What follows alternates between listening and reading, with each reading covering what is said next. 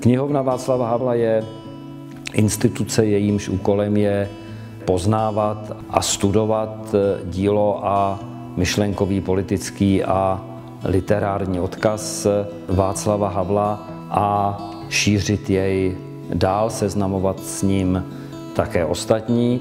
A za tímto účelem eh, je dokumentačním střediskem, výzkumným střediskem, je publikačním střediskem a organizuje celou řadu eh, akcí.